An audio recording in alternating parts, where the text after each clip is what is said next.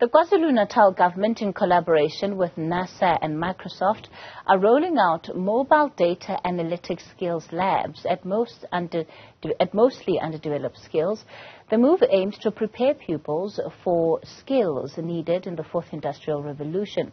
KwaZulu-Natal Premier Nomusa Dube Ncube joins us for more on the story.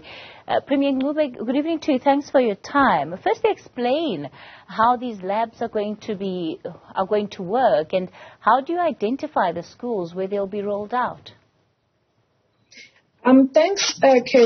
Um, well, we have uh, the project that we launched today of the digital uh, lab, uh, where our learners um, are taking a giant step to be part of the new universe um, of possibilities which are anchored on the digital uh, technology or digital economy. Um, the way they are going to be working is that uh, we've started uh, enrolling learners um, in two categories. One is the learners that are going to be um, uh, taught um, as um, data analysts and data scientists. Um, on the other side, uh, we have the young learners who are also going to be, you know, learning just the normal digital and technologies in this lab. Um, the launch um, of a connected province for us, um, it really marks the beginning of the long-term uh, projects that we want to roll out um, to the rest of the province uh, towards um, digitization of our economy, but also providing jobs for a lot of people um, at the same time. Who will be running these labs? The labs are going to be um, run by um, the educators that are, um, well, they are young people that have already been trained. Um, we took some of them as um, unemployed graduates, uh, and they've already have certificates, uh, international certificates. These learners as well are going to be receiving internationally recognized certificates and after which they'll also be put on the database of international data scientists and data um, analysts um, so that they could be able to open their own businesses or they can also be employed um, anywhere in the world um, using um, these certificates. Mm. One of the reasons I ask a question around who who's going to be running these labs is that often when you know these facilities are brought in particular uh, to underprivileged schools, you find that there isn't enough capacity or even support to help sustain the work that needs to be done in those labs to ensure that it fully benefits the learners and also the, the institution.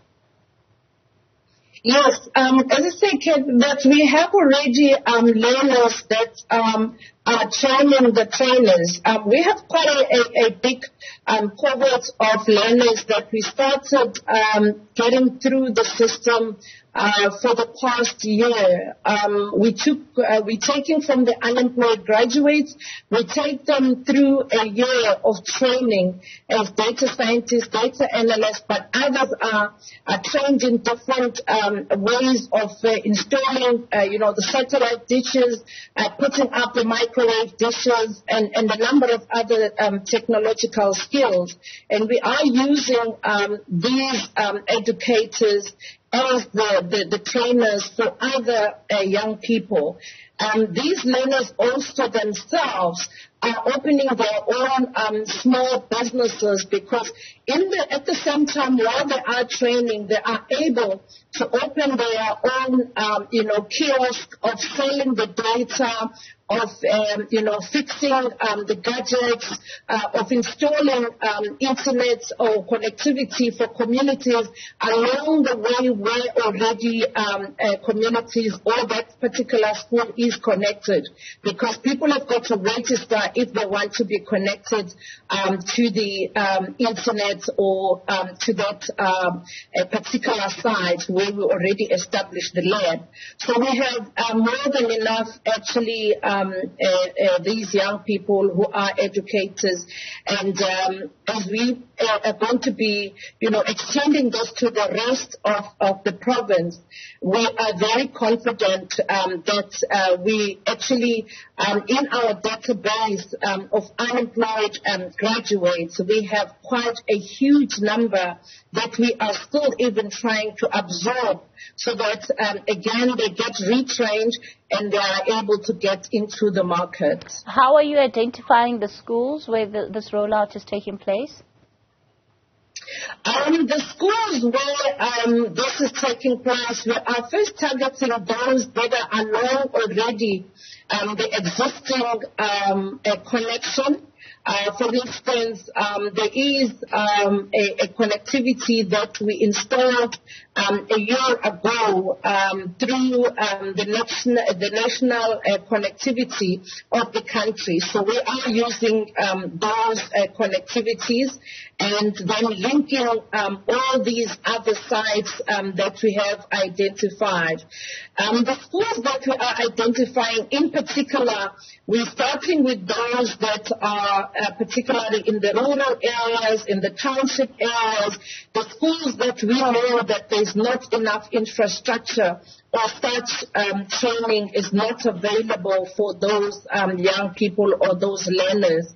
Because um, as you would know, that one of the issues that you, uh, that would be raised is that how are we going to deal with the shortage of infrastructure?